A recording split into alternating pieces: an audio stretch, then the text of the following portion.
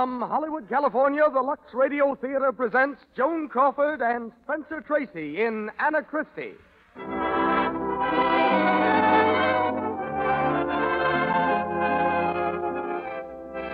Lux presents Hollywood.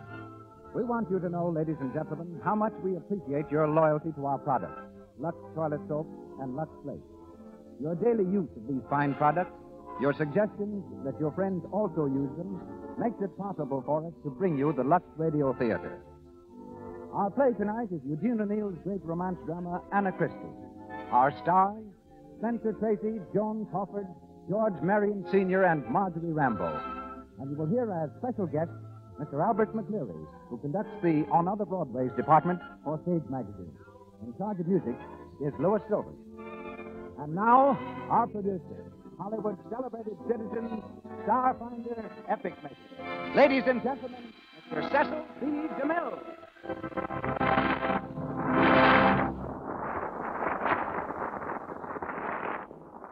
Greetings from Hollywood, ladies and gentlemen. Once upon a time, a shy little girl came to Columbia, Missouri, and enrolled in Stephens College. She'd just come from a convent school where she had paid for her board by helping clean 14 rooms, by cooking, washing dishes, and taking care of 25 children. She arrived at Stephens College practically penniless.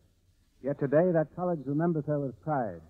On the dining room wall hangs her portrait, and beneath it is the inscription, Joan Crawford used to wait on tables in this room. No less spectacular has been the rise of Spencer Tracy. From the days when he and Pat O'Brien, both of them jobless, lived together in a single room in a New York boarding house. Their combined assets consisted of one full dress suit, which they both shared, and a generous Irish landlady who advanced them $15 so they could eat. There is no portrait and no inscription in that room today. Nor is there any in the room of a Connecticut sanitarium, where the turning point occurred in the life of Eugene O'Neill, author of tonight's play. It was while he lay in that hospital, reflecting on his past life as a sailor, gold prospector, newspaper man, and with an occasional job in the theater, that Mr. O'Neill determined to start life all over again, this time as a playwright. And today he's the only man who has won the Pulitzer Prize three times. Anna Christie is the brilliant play that brought the award to him for the second time. It was enthusiastically acclaimed on Broadway and later on the screen.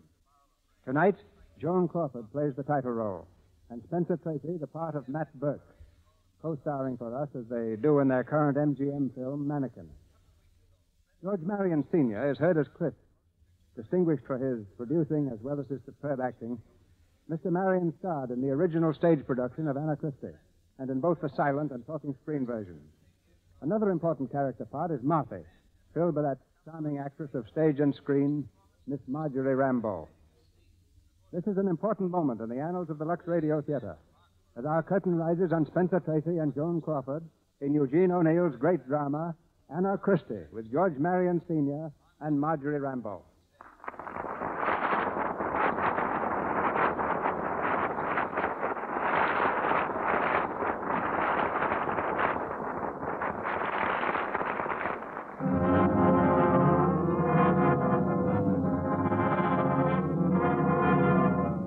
Foot of South Street, on New York City's waterfront, a grimy coal barge rides the oily swells of the East River.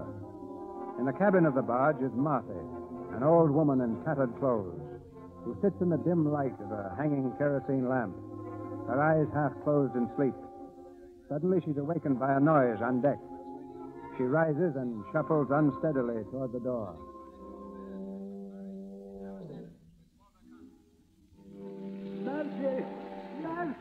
Huh?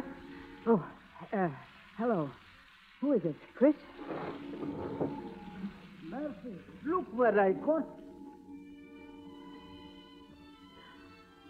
What? Letter? Yes. Murphy, look, a letter I got down at Johnny's saloon. Uh, you come from my daughter, Anna. Anna? Letter? By golly, I don't get a letter from Anna. Must be a year now. Hmm. what do you think? She's coming here, Master. Here? Yes, by golly, that's good news all one time for old fella. you, you know, Murphy, I don't see my Anna. since she was little girl in Sweden, five year old. How old she be now? Oh, let me see. She must be 20 year old by you.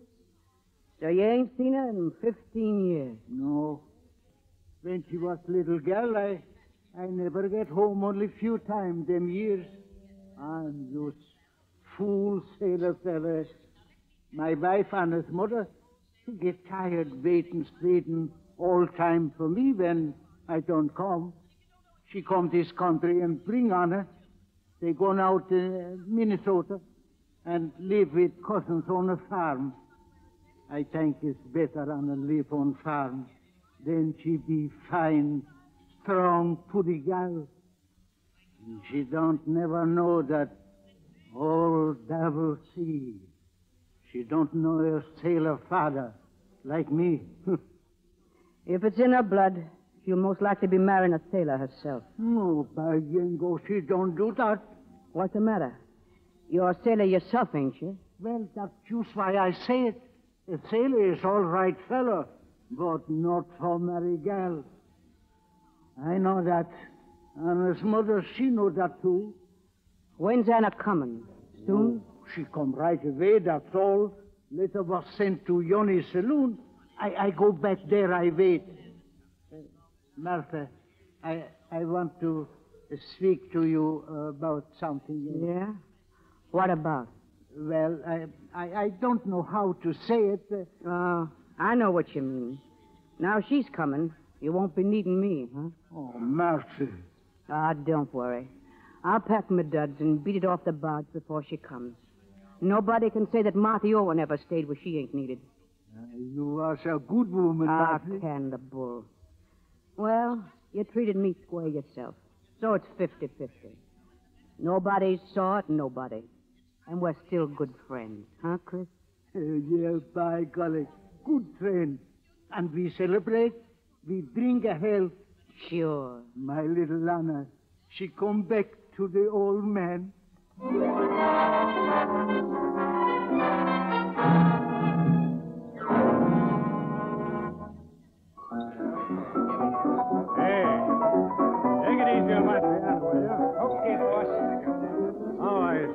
Hello? Is this Johnny's place? That's right. What can I do for you, sister? You don't serve sodas, do you? I don't serve nothing up here at the bar, sister. They have a back room for ladies. Oh, thanks, smart guy.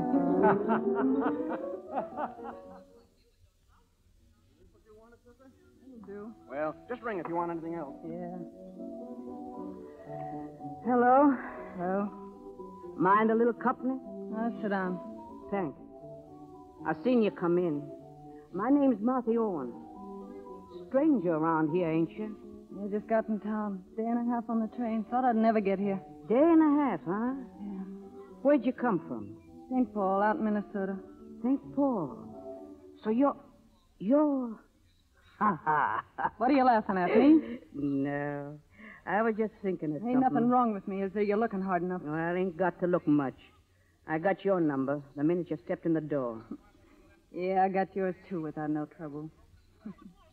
You're me 40 years from now, that's you. Oh, oh, come on. Now, let's cut out the scrapping. Me, now, you see, I don't want no hard feelings with nobody. Come on, shake and forget it, huh? Sure, I ain't looking for trouble. That's right. What you doing here? Waiting for someone? I'm old man. I ain't seen him since I was a kid. He used to be a sailor. He's janitor some building here now. Janitor? Yeah. I was thinking maybe, seeing he ain't never done a thing for me in my life, he might be willing to take me to a room and eat till I get rested up. I've been sick just out of the hospital two weeks. I ain't expecting much from him. Give you a kick when you're down. That's what all men do. Say, do you hang around this joint much? Oh, off and on. Well, then maybe you know my old man. Yeah. It ain't. Say, it ain't Chris Christopherson, is it? Yeah, yeah, that's him. Anna Christopherson, that's my real name. Only out there I call myself Anna Christ. So you know him, huh? Oh, seen him about for years. But where'd you get the idea he was a janitor? Well, he wrote me he was himself. Well, he ain't. He's captain of a coal barge. A coal barge. oh, if that ain't a swell job to find your long lost old man working at. Well, that kills it. I don't get no rest from him. Why not? Can't you live on it, too? On a dirty coal barge? What do you think I am? Ah, what do you know about barges? Bet you ain't never seen one. That's what comes of his bringing you up inland, where you'd be He is bringing me up. Is that what he tells people? He let them cousins keep me on their farm and work me to death like a dog. So you didn't fall for life on the farm, huh? I stood it until my mother died. Then I went to St. Paul. Ah, well, you should have stuck to the farm. It couldn't have been worse than this. Oh, shut up. Now, look, your old man, he's a simple old guy, see? He thinks you was working as a nurse girl in St. Paul. He thinks, oh, say, he thinks the world of you. Honest, he does. Yeah? Say, that's him now. He's out there. I'll tell him you're here. Wait a minute. I ain't thanked you.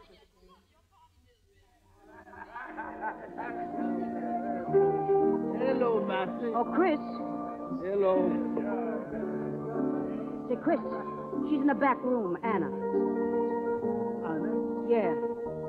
Well, so long, Chris. Say she's been sick. Treat her good, will you? Well, I gotta beat it now.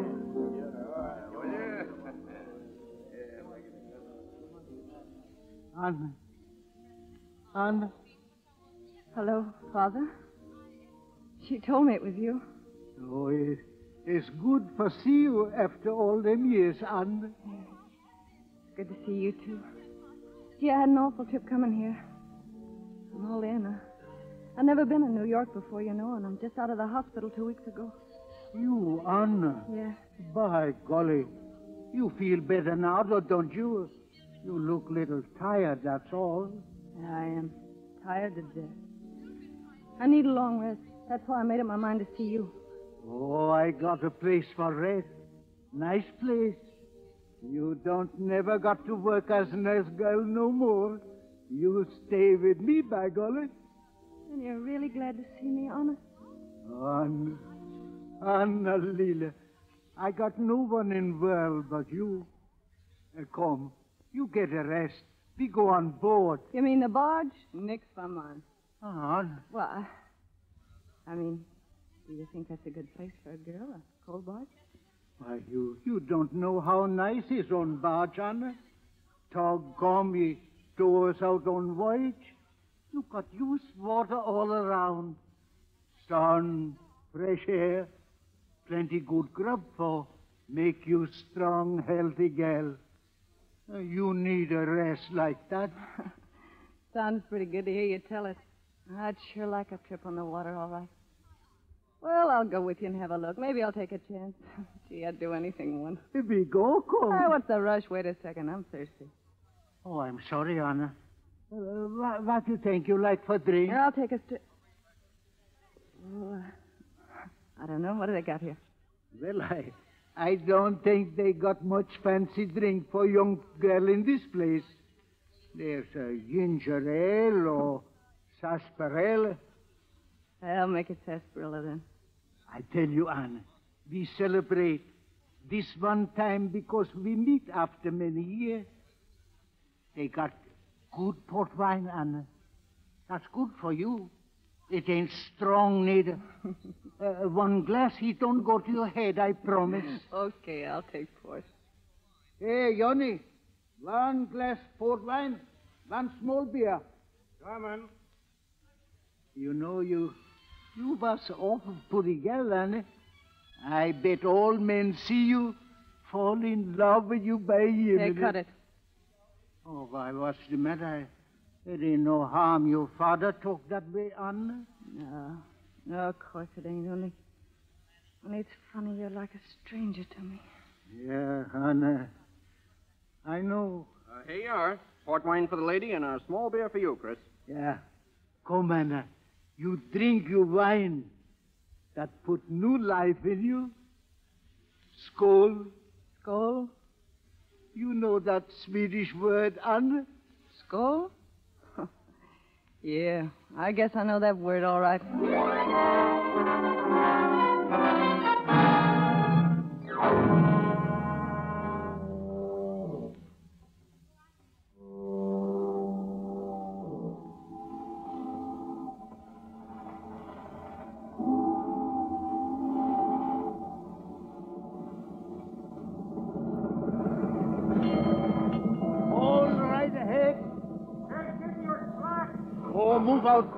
We take him up by Jiminy. Well, Anna, we start. It ain't so bad on barge, eh? I'll let you know later.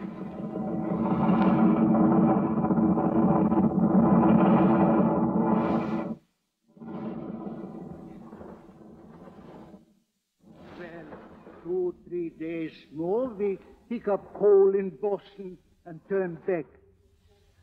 You you change a, a lot in one week, Anna. See air make you feel good, eh? Maybe. I don't know. Four bells. What time is it? Uh, six o'clock. Funny, all this tea talk. I'm getting onto the lingo, though. Say, were the men in our family always sailors? Yeah, fools too. My father, my three brothers, buried at sea. Sooner or later, that old devil sea, she swallowed them up. But she ain't gonna get me. No, by Yemeni, not me. Beefing about the sea again. Well, I'm getting so I kind of like it. Anna, you like it?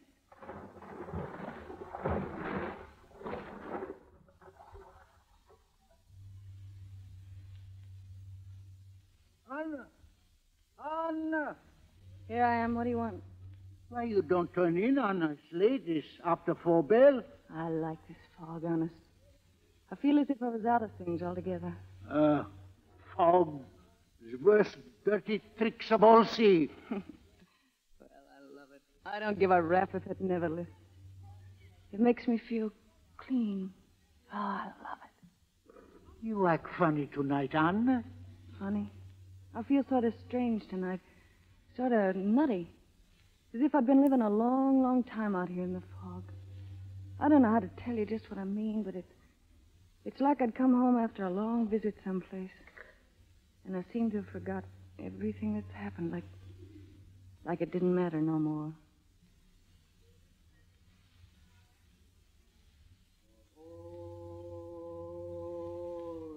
What's that? The sound come from this side.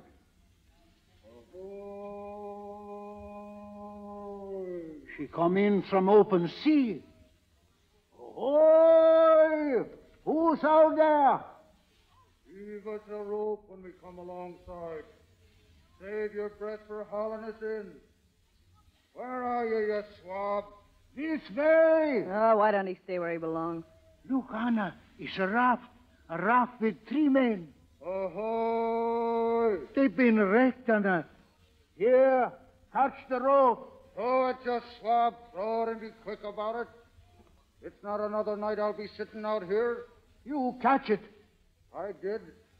Small thanks to your rotten name.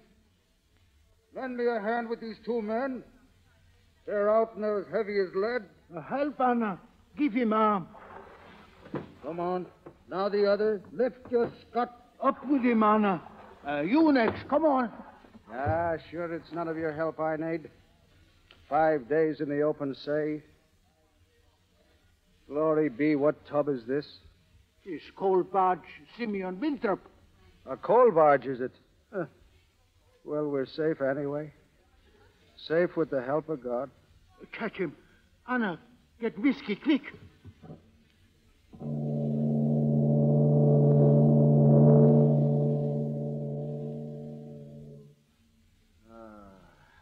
Awake now? Here, drink this. Huh? Who are you? Drink it. Sure am I dreaming. Drink this, and you'll find it ain't no dream. Who wants the drink? But I'll take it just the same. Where am I? Cabin of the Simeon Winthrop. I know, I know. Sure, I thought you were some mermaid come out of the sea to torment me. Give us your hand, darling. Well, rail, flesh and blood, devil a less. Cut that. Sure, and what is a fine, handsome woman the like of you doing on this scow? Say, you got nerve, haven't you? Kidding after what you just been through. Ah, 'twas nothing. It was easy for a railman the likes of me. 'Tis only the great strength of me that saved us when the crash came. Ah, 'twas a mad fight and scramble in the last seconds with each man for himself. All the others was drowned. And that they was, surely. Sure, and only for me and the great strength and nerve is in me, the two I saved would be scuffed by the fishes this minute. Gee, you hate yourself, don't you? Well, you better lie down and sleep. Lie down and sleep, is it? Let you not be thinking I'm a weak scut. I could lick any man on this boat with one hand tied behind me. Ain't you the hard guy? Well, I must say I don't care for your language. The men I know don't pull that rough stuff when ladies are around. Ladies, says it. the devil minja. Let you not be making game of me now. Wish now, me daisy. It's one of your kisses I'm needing to take the tiredness from my bones. One kiss now. you let go of me, you big slug. Hey. Hey, what's the matter? I didn't mean to push you down. Hey, wake up. Ah. Gee, you socked your head on the bunk. I was scared for a minute I'd killed you. Killed, is it? It would take more than a bit of a blow to crack my thick skull. But glory be, it's a power of strength is in them two fine arms of yours. There's not a man in the world can say the same as you that he's seen Matt Burke lying at his feet and him dead to the world. Yeah, I'm sorry it happened. Only you'd no right to be getting fresh with me. Listen now, and don't be getting any more wrong notions. I'm on this barge because I'm making a trip with my father. The captain's my father. I'm sorry. I'm thinking I ain't good enough to be kissing the shoe soles of a fine, decent girl the like of yourself. So if you'll forgive me, we'll be friends from this out. I'm thinking I'd rather be friends with you than have my wish for anything else in the world. Your hand, girl. Sure. Heaven bless you, girl. Ouch, my hand. Ah. Oh, it is a clumsy ape I am. Sure, it is great power I have in my hand and arm, and I do be forgetting it at times. Gee, you're some strong, all right. I am that, praise God. And I'm telling you, there's the will of God in it that brought me safe through the storm and fog to the one spot in the world where you was. Think of that now, and isn't it queer? Anna, you will get in your cabin, you hear? Who do you think you're talking to? A slave? You need get rest, Anna. You got to get sleep. What are you doing here, you sailor fella? You ain't sick like others. You get in folks. But he is sick. Look at him. He can hardly stand up. Get in folks. Is it giving me orders, you army bucko? Let you look out then. With one hand weak as I am, I can break you in two and fling the pieces over the side, and your crew after you. I'll. no, no, I, I was forgetting. You're her old man, and I'll not raise a fist to you for the world. I, I think I'd better sit down. Here. Here, get back in that bunk. You're going to stay here, in this cabin, till you're well. I'll take care of you myself. Oh, Anna. Anna, sure, it's a sweet name and suited to an angel. You stay here, Anna. You stay. Yes. And I don't. That's your dirty trick. All devil see. But you don't do that. Not while I live. No, by you, you don't.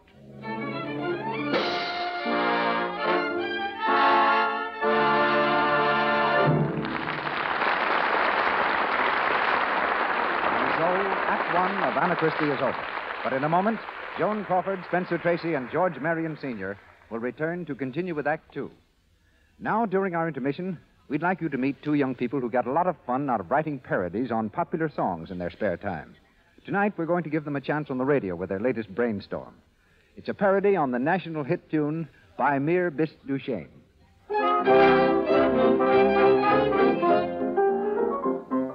Bei mir bist du schön, so won't you explain what makes you the fairest in the land? Is it your complexion inspires such affection? And how do you keep it so grand?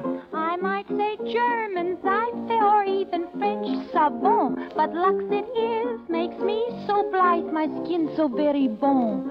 I'll sing this refrain Bei mir bist du schön. Lux soap, you're the finest in the land. Bei mir bist du schön, you need not explain what makes you the fairest in the land.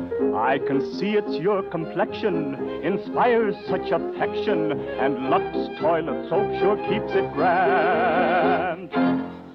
There's more truth than poetry in that song you've just heard. It's a fact that nine out of ten screen stars depend on Lux toilet soap to guard their complexions. That smart girls everywhere Use this gentle white soap to keep skin lovely. Guard against cosmetic skin. Its active lather removes thoroughly the dust and dirt, stale cosmetics that choke the pores. When pores are choked, the dullness, tiny blemishes, enlarged pores that mean cosmetic skin develop. Guard against this unattractive complexion trouble by using Lux toilet soap before you renew makeup. Always before you go to bed. And now, here's Mr. DeMille. Anna Christie, starring Joan Crawford and Spencer Tracy with George Marion Sr.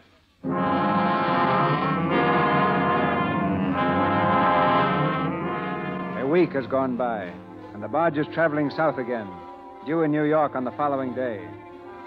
In the cabin, Chris pretends to read, glaring hatefully over the paper at Burke and Anna. Anna's been knitting. She moves toward Burke and holds a sweater against his broad chest. I want to measure against you, Matt. Stand up. Sure, and I will. On my head or my feet? Feet. Ah, you're standing mighty close to me, Anna. With my sweater you made with your own sweet hands. Only prayer or paralysis can save you now. I'm praying, Matt. Then 'tis a miracle if your prayers are answered. Thanks, Matt. The sweater's for my father. He hates to stand up for measurements. What? Tis a lie in your throat, Anna, and you know it. You made it for me with your own blessed hands.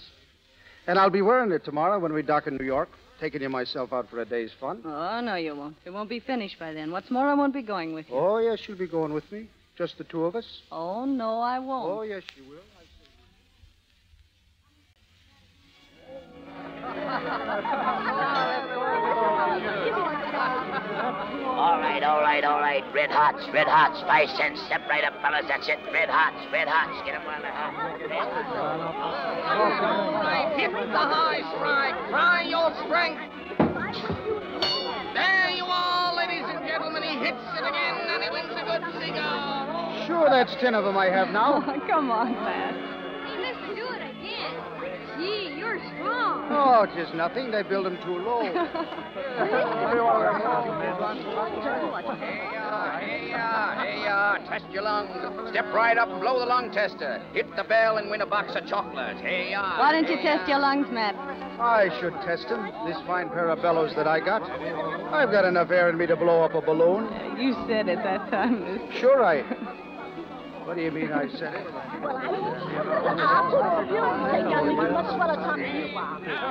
Here in the waxworks, ladies and gentlemen. Every wax figure a work of art. All the love scenes of history enacted by wax figures. Antony and Cleopatra, Romeo and Juliet. Step right in. Cleopatra. Some more foreigners. Sure, ain't there any Irishmen in the waxworks? Honest, I'm having fun with you. I ain't having such a punk time myself. Gee, Anna, you're a swell looking dish. Ah, Blarney. Not when I'm talking to you, Anna. The blarney dies in me throat. I'd like to believe it, Matt. Oh, look, Romeo and Juliet. Yeah. You'll never land that dame. Why not? Why, the poor swab is on his knees to her. You don't believe in that? Sure not. A woman wants to look up to her man, not down on him as if he was a poodle. Yeah. Yeah, I'm looking up to you, Matt. And I'm looking up to you, Anna. Oh, Matt. Anna. Anna, darling. Tis a strange thing you've done to me. It's love, all right. There's a choking feeling in me throat, and me heart is beating like a trip hammer. And if it isn't love, then I'll never find it. A man like you, I thought you'd know a lot about love. I thought I did until I saw you that first night on the boat. Coming to me out of a blinding fog, the two bright eyes of you shining through the mist to light me way. And ever, ever since that night, I've been on me two knees to you, groveling at your feet, the same as I am this minute. On your knees, Matt? After what you just said? Ah, don't be making fun of me now. I, I can't help it, Anna. It's more than love I have for you. It's, it's a kind of pain, like a heartache. Me that's not good enough to be kissing the shoe on your foot. No. Anna, You mustn't. You mustn't say that ever, it's true. Why shouldn't I? Matt. Oh, Matt, darling, what would you say if. if I told you? If you told me what? Nothing. I know what you'll be wanting to tell me soon. If not this minute. that you love me, Anna. Oh, don't be so sure of yourself, Matt. I'm loving nobody. And that you'll be wanting to marry me, and maybe I'll be accepting you. You want to marry me? You mean it? Sure, and I'll marry you. Anna Lila. What? What's the matter, Anna? All time since you get back, you sit out here and look across the bay. You think about something, Anna? Maybe. Ah, maybe I know. You think you love that sailor fella, Well, Anna? what if I do? Maybe you think you marry him? No. Why, I'm glad you don't marry sailor fella. Any girl marries sailor fella, she's crazy fool. Your mother tell you same thing if she was alive. That ain't why I won't marry. I ain't thinking about myself. thinking about him. He's such a simple guy, like a big kid. I ain't got the heart to fool him. You fool him. By Jiminy, you go crazy, I think. Yeah, I've been thinking I was myself the last few days. I'm going back on the stern and watch the boats. When Matt comes, tell him where I am, will you? Anna.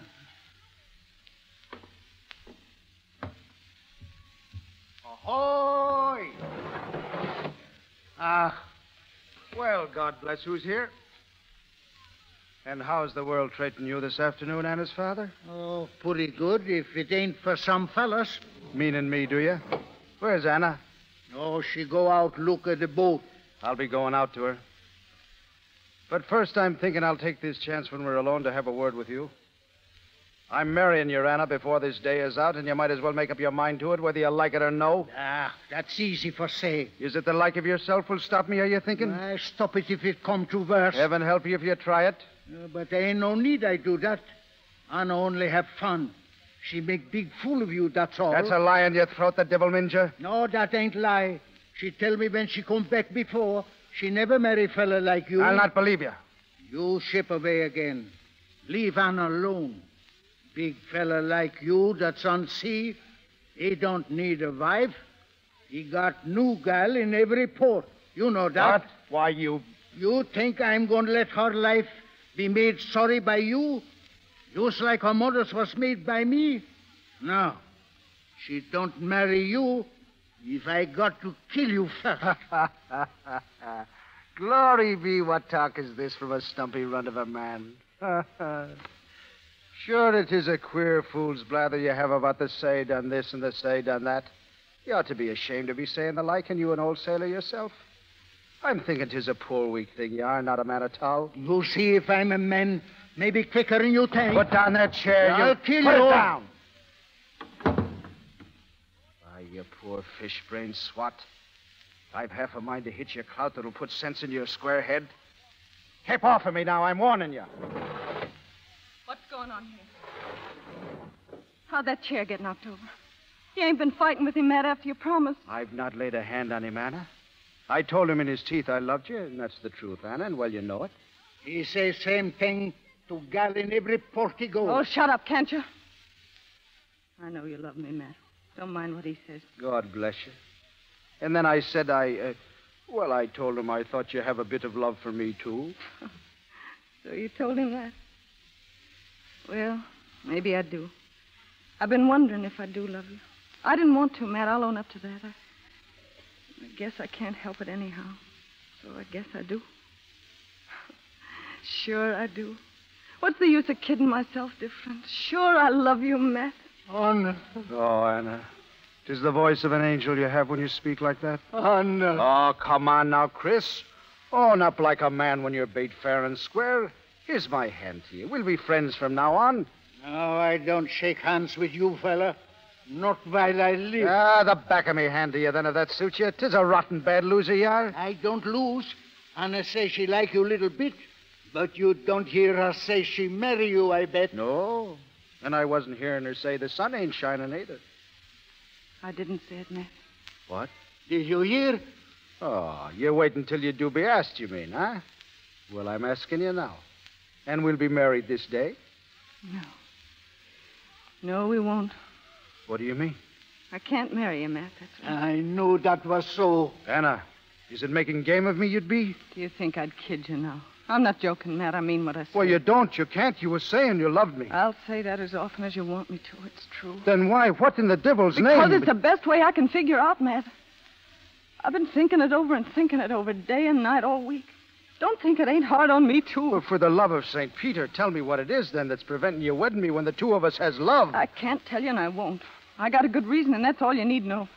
I can't marry you. That's all there is to it. Is it married to someone else you are? Oh, no. To the devil and with all other reasons. They don't matter with me at all. We've had enough of this talk now. I'll let you be going into the other room now and be dressing in your best, and we'll be going ashore. Say, don't do that. You stay here, Anna. You hear? She will not. You've had your hold on her long enough. It's my turn now. Your turn. You don't do one thing he say, Anna. She will. She will not. I'm her father. She will, in spite of you. She's taken my orders from this out, not yours.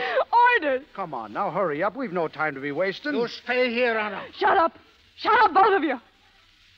You'd think I was a piece of furniture. Well, I'll show you. Sit down now and listen. I'm going to tell you something, then I'm going to beat it. Oh, no, what? Yeah, I've been meaning to turn it loose on you every time you start yapping about keeping me safe inland. What is it, Anna? and you, Matt. Don't forget what you said a minute ago about it not mattering so long as I wasn't married already. That's my word, and I'll stick to it. Yeah, I'll bet you will. Just queer, rough talk for a decent girl the like of you. Decent. Who told you I was decent? Oh, Anna. What is it you're saying? Are you mad, girl? Mad? Yes, she's crazy. She talk like that. She's crazy. Well, maybe I am. Living with you is enough to drive anyone off their nut. Your bunk about the farm being so fine. Didn't I write you year after year how rotten it was and what a dirty slave them cousins made of me? What'd you care? Nothing. That crazy stuff about wanting to keep me away from the sea didn't go with me. You just didn't want to be bothered with me. Oh, Anna, it ain't so. Then I ran away. Did you know where I went? Did you care? Did you care what kind of people I met and who I saw and what I did? You thought I was a nurse girl in St. Paul, didn't you? a nurse girl. Oh, that's good, that is. But I wasn't, see? I lied to you. I wasn't no nurse girl the last two years, and now it's the truth you're getting. Oh, Anna, it ain't. It's a lie. It's a lie. So that's what's in it. Yeah, that's what's in it. I suppose you remember your promise. I suppose you still want me to get dressed and go ashore with you. Yes, you do. I suppose if I tried to tell you that I wasn't that no more, you'd believe me, wouldn't you? Yes, you would. And if I told you that just getting out in this barge and being on the sea had changed me and made me feel different about things, as if all I'd been through wasn't me and didn't count and was just like it never happened, you'd laugh, wouldn't you? And you'd die laughing, sure, if I said that meeting you that funny way that night in the fog and afterwards seeing that you were straight good stuck on me had got me to thinking for the first time, and I sized you up as different from the ones on land as water is from mud. I couldn't marry you with you not knowing the truth, and I was ashamed to tell you. But will you believe it if I tell you that loving you has made me different? It's a straight, good, honest this. Oh, yes, you will. You're like all the rest. The rest different, is it? I'll be killing you now. Go on. Kill me. Let her go. Keep out of this, you. Well, Matt, ain't you got the nerve to do it? Go ahead. I'll be thankful for it, honest.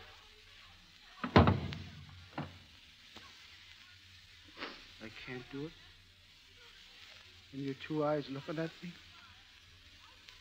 Heaven help me, I'm destroyed entirely. My heart is broken Oh, in bits. Oh, don't, Matt. Get out. Leave me alone. I'll be going, surely. And I'll be shipping away on some boat will take me to the other end of the world where I'll never see your face again. And my curse on you and my curse on all you've been. You've destroyed me this day. And may you lie awake in the long nights tormented by the great wrong you've done me. No, Matt.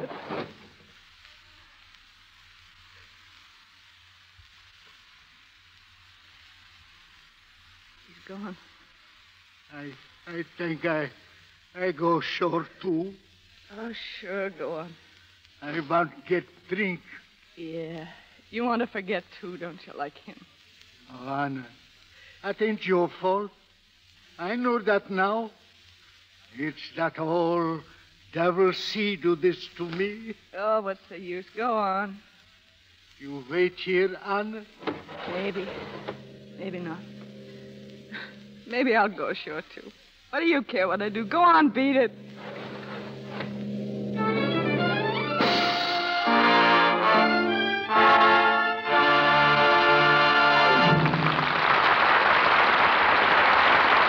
pause for station identification.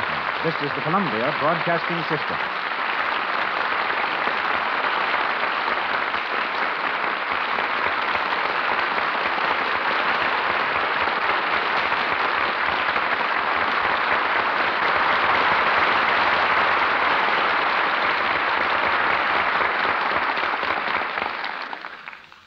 The third act of Anna Christie, starring Joan Crawford and Spencer Tracy, following this brief intermission. From time to time, you've heard Hollywood personalities on this program offer the sound advice that to get into pictures, you should stay away from Hollywood.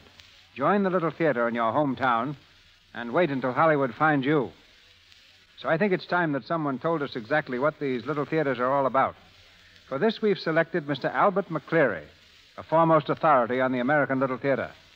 He spent the last 10 years in direct contact with these organizations, writes the column on other Broadways for Stage Magazine, and maintains steady contact with the 300 civic theater groups that part their curtains between Maine and California.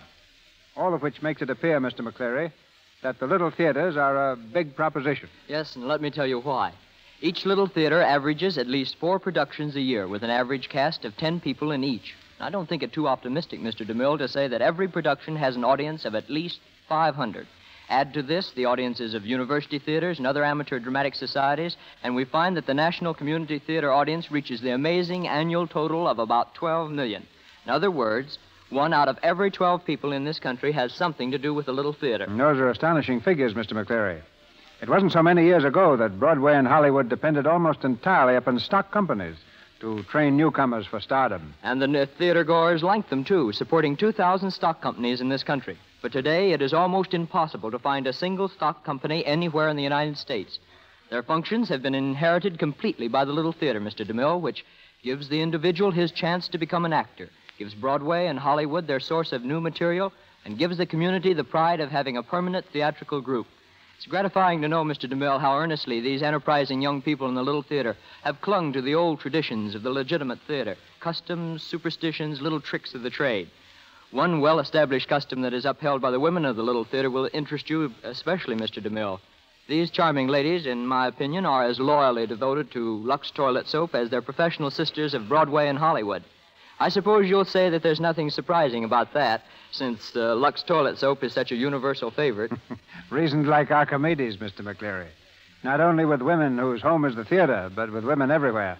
But getting back to the subject of superstitions peculiar to the theater, do you happen to think of any offhand? Well, yes. Uh, one that comes to mind is rather amusing. Uh, the one that uh, a very bad dress rehearsal means a successful run, and vice versa. It's not an uncommon thing to see a dress rehearsal go off swimmingly, each actor doing his role with the utmost enthusiasm. And then, when it's over, see these earnest young people not exhilarated and stimulated over their fine work, but dejected and depressed. Of course, there's no basis for this stu- superstition, but don't ever try to convince an actor of that. And now let's see what some of these little theaters have done in supplying fresh, invigorating talent to the world. You should be able to cite several examples, Mr. DeMille. Well, let me see. There's Frances Farmer, who received her training in Seattle, Ann Harding in Pennsylvania, Henry Fonda in Omaha, Tyrone Power in Santa Barbara. Robert Young, Randolph Scott, Douglas Montgomery, and Gloria Stuart hail from the Pasadena Community Playhouse. And Akim Tamiroff, who plays the role of Dominique You in The Buccaneer. Frequently goes back there for a week or two just to keep alive his contact with flesh and blood audiences. Well, I'm certain the advice of every one of these players would be stay at home and get your training in your own community theater. Start with anything you can. As an example, just two years ago in the Pasadena Playhouse, I noticed a young fellow with a wide grin who was always most willing to shove the pianos around or do anything to be generally useful. You may have heard of him. His name is Wayne Morris. There's just one more thing I'd like to say before leaving. If you'd like to know where your nearest little theater is, where you can go for this training, write me and I'll be glad to tell you. Of course, I can't prophesy that you'll crash the gate, but if you're determined and have ability, that's the place to try. Just address me in care of the Lux Radio Theater and the station to which you're listening and send a stamped, self addressed envelope with your letter. Thank you. Thank you, Albert McCleery.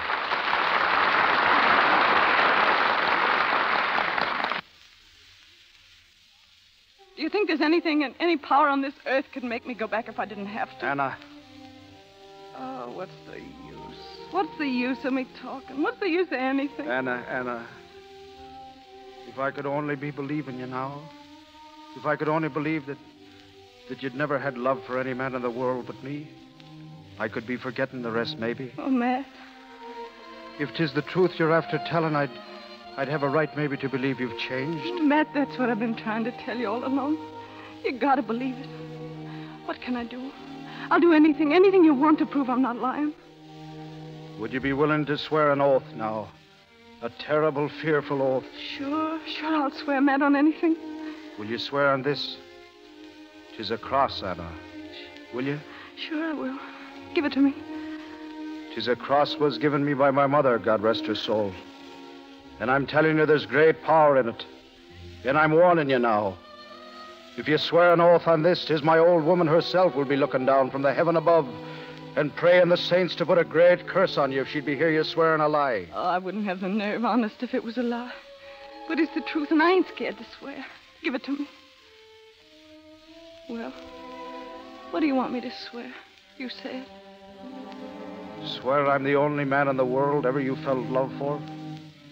I swear you're the only man in the world I ever felt love for. I swear it before God. And may the blackest curse of heaven strike you if you're lying? And may the blackest curse of heaven strike me if I'm lying. I believe you, girl. Oh, Matt, Matt. Sure, we'll be wedded in the morning. And we'll be happy now, the two of us, in spite of the devil. Yeah, we have a drink on that, by golly. Keep away, old man, or heaven rest me if I don't throw you clean out into the fog. No, by golly, I hear what you say, and I like it, too. Oh, that's the way to talk. It's about time for you and Matt to kiss and make up. You're going to be shipmates on the Londonderry. Did you know it? Shipmates? As himself? Uh, I'm bosun on her. The devil. So you'd be going back to the sea and leaving her alone, would you? Oh, that's all right, Matt. That's where he belongs, and I want him to go. You got to go, too. We'll need the money.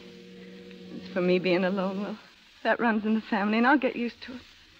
I'll get a little house somewhere, and I'll make a regular place for you two to come back. You wait and see. Now you two make up and be friends. Well, sure. Here's luck to you. I wish you luck, too. oh, that's the way. Sure, it's the will of God, that's what. It's queer, though. You and me shipping on same boat that way. It ain't right. It's that funny way old Devil Sea do her worst dirty tricks. Aye. I'm fearing maybe you have the right of it for once. The divil take you. Gee, Matt, you ain't agreeing with him, are you?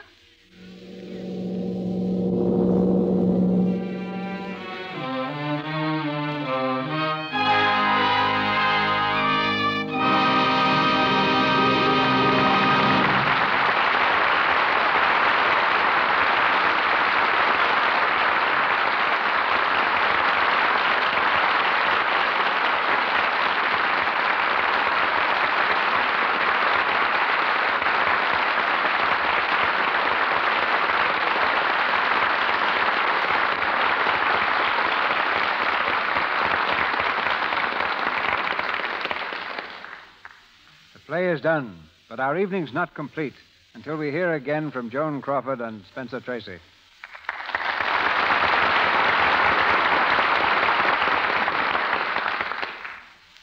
Thank you, Mr. DeMille. What I have to say is brief, but it's something I really want to say. It was such a pleasure to have been here again taking part in the Lux program. We're enjoying having you here, Joan. You and Spencer Tracy in an O'Neill play are a combination of talent to warm any producer's heart. Which reminds me, Mr. DeMille, that there hasn't been a new O'Neill play in some time. Do you happen to know if we may expect one soon? Well, at the moment, he's engaged in writing not just one, but nine full length plays. They'll cover the lives and times of an American family beginning in 1810 and coming up to the present. Perhaps someday you and Spencer Tracy will return to us in one of them. Thanks, Mr. DeMille. I hope so. If you don't mind, I'd, I'd like to take up a few seconds of our time in paying my respects to those who were with us tonight. To Marjorie Rambeau, George Marion Sr., Frank Shannon, and all the others. Mr. Marion is one of the theater's nobility. This was practically his first public appearance in nearly three years. He's played the part of Chris nearly a thousand times. and I feel very humble and very grateful to have appeared with him tonight. And so do I feel toward Frank Shannon, whom you heard in the role of Johnny. Frank starred in the original production, too, playing the part of Matt Burke. I don't know how near I came tonight to any semblance of this character, but if I succeeded, it's because of the help Frank Shannon was kind enough to give me. If I didn't, it, it could only have been my own fault. Thank you and good night. Before I go too, Mr. DeMille, let me again express my appreciation to the makers of Lux Toilet Soap. I use it every day, both at home and in the studio, simply because I found that Lux Soap is about the finest way in the world to keep a complexion fresh and smooth. And I'm glad to pass my experience on to all those it may interest. And now, good night, and thank you so much. Good night, sir.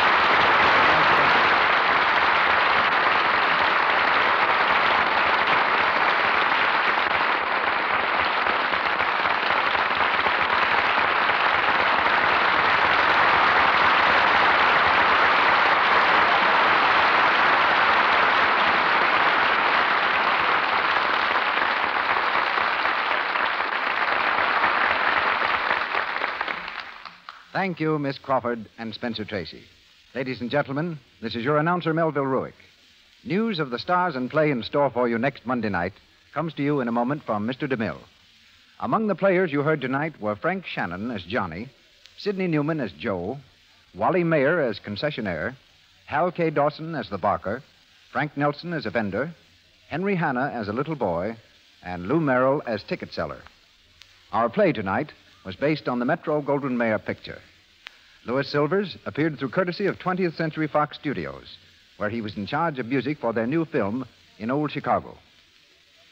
Before leaving you tonight, we in the Lux Radio Theater wish to congratulate the Boy Scouts of America on their 28th birthday celebration. This week, more than a million scouts are featuring safety demonstrations and other activities in their campaign towards building a stronger generation. The Lux Radio Theater urges its listeners to continue to support this fine movement, one which is indispensable in helping build young Americans into better citizens, preparing them to serve wherever they are needed. We wish them all continued success. And now, here's our producer. Through Broadway and the screen, many of you are perhaps already acquainted with S.N. Behrman's spectacular success, Brief Moment. You'll have a chance to enjoy the romance, conflict, and drama of this great play next Monday night, as presented in the Lux Radio Theater. It's the story of a young man with more money than's good for him, wealth that has left him with a bored, detached interest in life, and what ensues when he marries a blues singer from a nightclub, a girl with many admirers and a slightly different code of ethics. Brief Moment serves as the vehicle to bring back to our stage Miss Ginger Rogers, and co starred with her one of Hollywood's outstanding leading men, Mr. Douglas Fairbanks, Jr.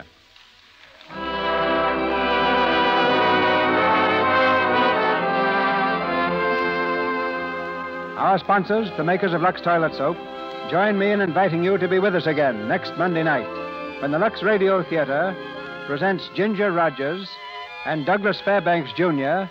in brief moments. This is Cecil B. DeMille saying good night to you from Hollywood.